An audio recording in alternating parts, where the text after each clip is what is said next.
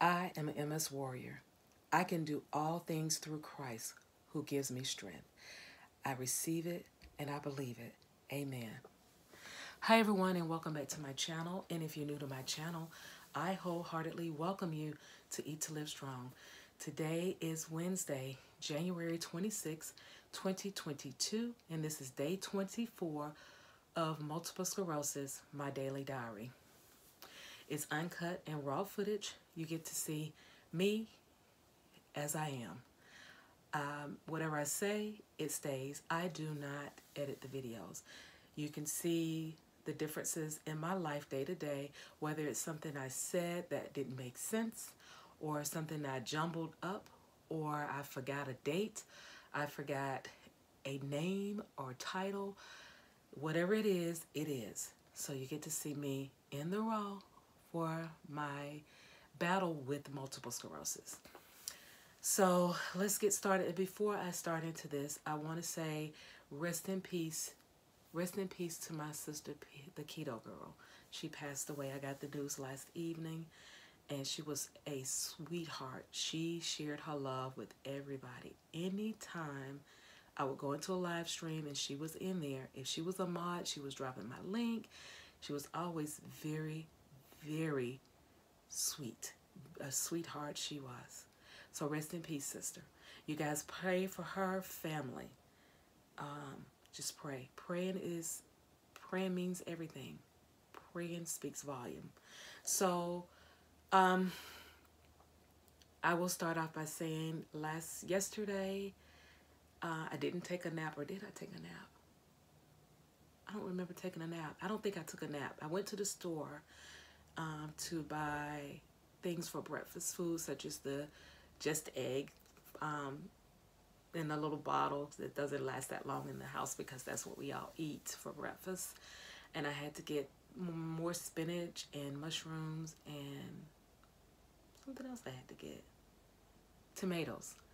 Um, my tomatoes are not doing too well right now because it's cold outside. So we have to buy it in the store. I normally try to can tomatoes, but that's not going to be good for breakfast, you know. A slice of tomato is good, but if I do anything, I would make salsa, and I didn't get to do it last year. Um, so I will make salsa this year. And I will use that to put over the eggs and things like that. But so I went to the store yesterday. I did not get a nap. Um, I did follow the techniques and let me just start off. See, I forgot just that quick. Let me just tell you a little something, something. Um, so again, I did follow the techniques that I said I was going to do, but I cheated. I'm not going to lie, I cheated. And so with that being said, I went to bed. My alarm clock went off at midnight telling me to go to bed.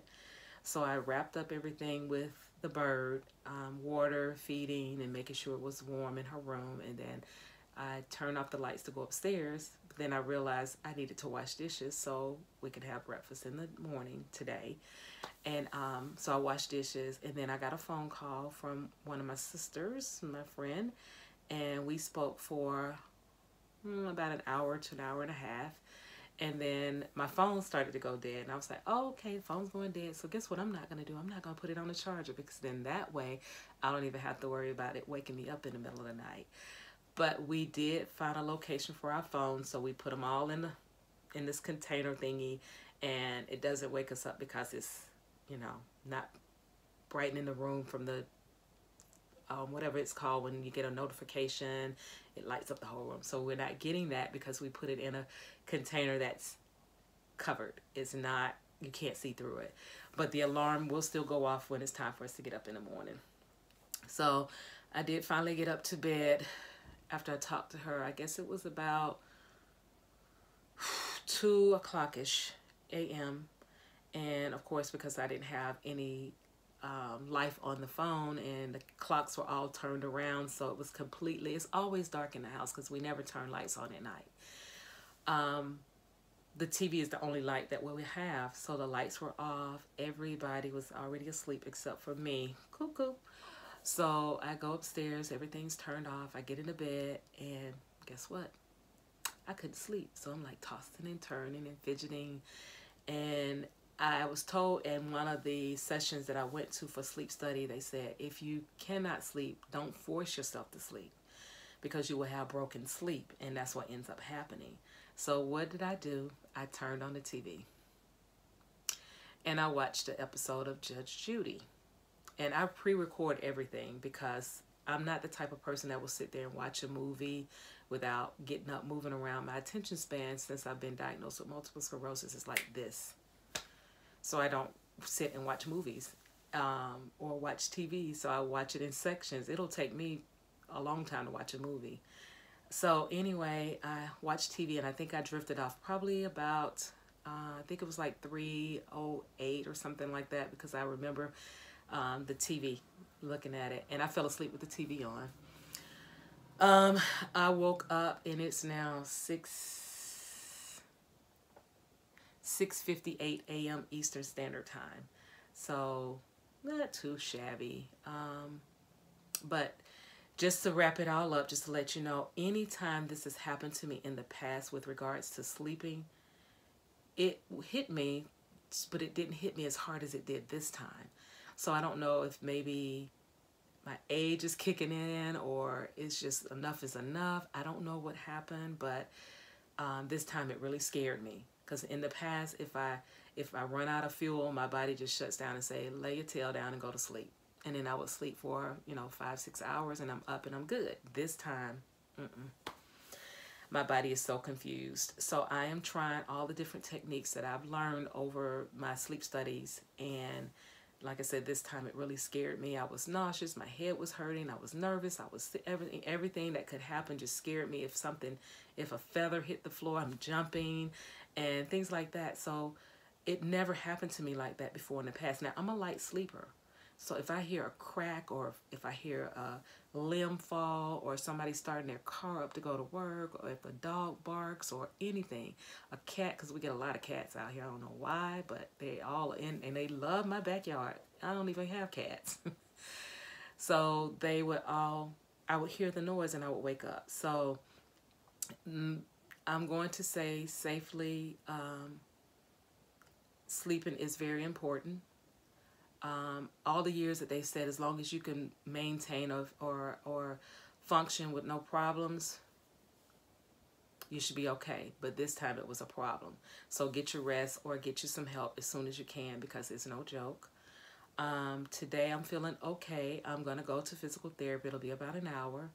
Uh, I am feeling some tension in my neck. So if I move back, it's okay. But if I move forward, it pinches in my neck. So hopefully they will take care of that or I'm off to the chiropractor because um, I don't know if it's MS related or if it's just that I need to be adjusted. I don't know. So guys, um, make sure you take heed to your conditions, your symptoms. Make sure you write them down. Put them in your smartphone.